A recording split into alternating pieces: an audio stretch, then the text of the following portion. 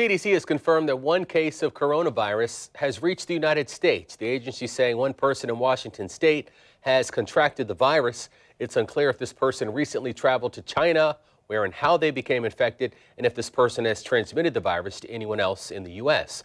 Major airports, including Chicago O'Hare and Atlanta International Airports, will add entry health screening. That's later on this week.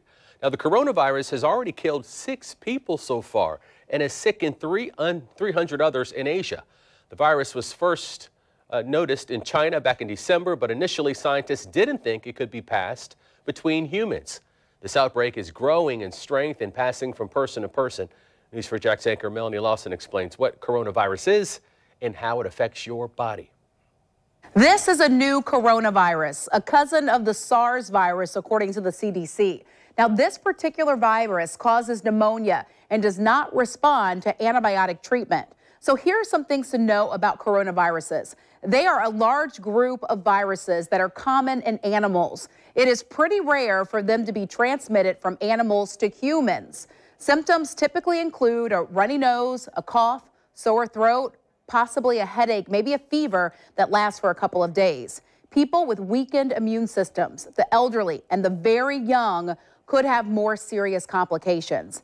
Now, the two deadly coronaviruses that we know of are SARS, severe acute respiratory syndrome. It was first identified in South China.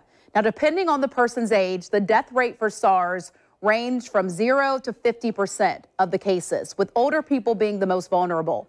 MERS virus, or Middle East respiratory syndrome. Another deadly form of the virus was first reported in the Middle East in 2012. Now, three out of three to four out of every 10 patients infected with MERS died, according to the CDC. Now, when it comes to human to human transmissions of the viruses, it often happens when someone comes in contact with the infected person's secretions.